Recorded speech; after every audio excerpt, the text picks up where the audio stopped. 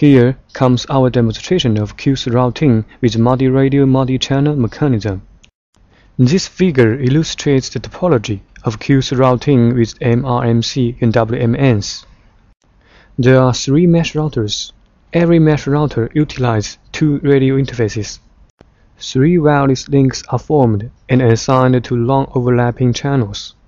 Then, we add background flows to affect the bandwidth of wireless link 1. Now, you can see the bandwidths belong to each wireless link shown in the figure.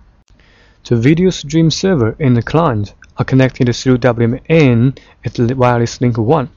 However, the QoS requirement on bandwidth is 3 Mbps, which is higher than the bandwidth the wireless link 1 can offer. According to our QoS and MRMC combined routing protocol, the path contains wireless links 2 and 3, which have higher bandwidth but more hops totally, are chosen. Therefore, the QoS flow can pass more hops paths, meanwhile, the non-QoS flow can still go through the shortest path. The video clip records a realistic implementation of our demonstration scenario. This is the video streaming server running on a laptop.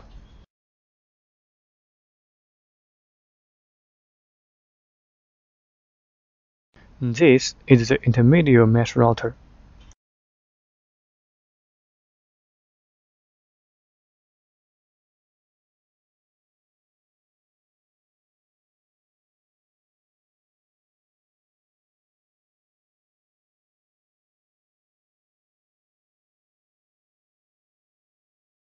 And this is the video client running on another laptop.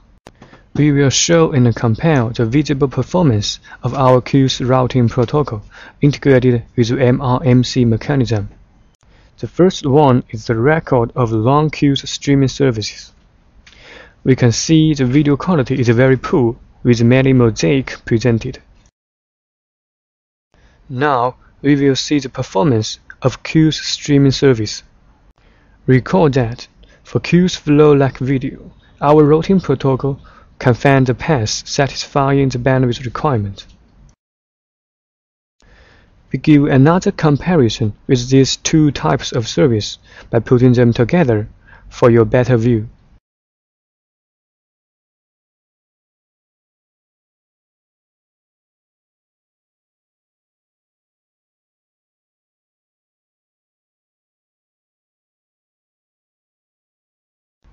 Thank you for your watching.